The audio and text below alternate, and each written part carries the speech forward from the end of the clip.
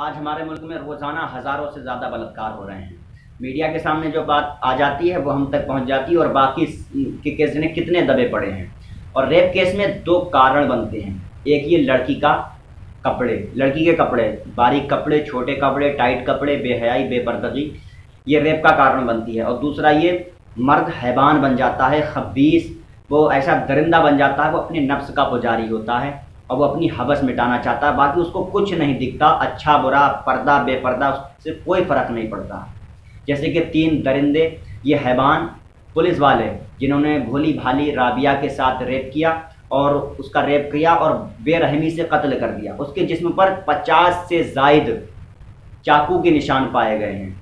और कहती हुई मुझे झिझक लग रही है, आगे, पीछे और ऊपर के चेस्ट के हिस्से पर। ये समझ लीजिए उस मेन मेन पार्ट को भी नहीं छोड़ा, इन्होंने बहुत बेरहमी से जो है काटा है। काफ़ी दुख है, हमें दुख इस बात का नहीं है कि वो मुसलमान है। कोई भी हो, इसके, किसी भी धर्म से हो, दुख हमें फिर भी होता। देखिए, हम अपने वतन से प्यार करते हैं साथ साथ हम अपने वतन के रहने वालों से भी प्यार करते हैं। दुश्मनी हमारी उनसे है जो हमारे बुज़ुर्गों का गुस्ताख है, हमारे दीन का गद्दार है, हमारे आका हुजूर मोहम्मद मुस्तफ़ा सल्लल्लाहु अलैहि वसल्लम का गुस्ताख है। हम दुआ करते हैं अल्लाह पाक से कि राबिया को इंसाफ मिले और उसके कातिलों को फांसी की सज़ा दी जाए।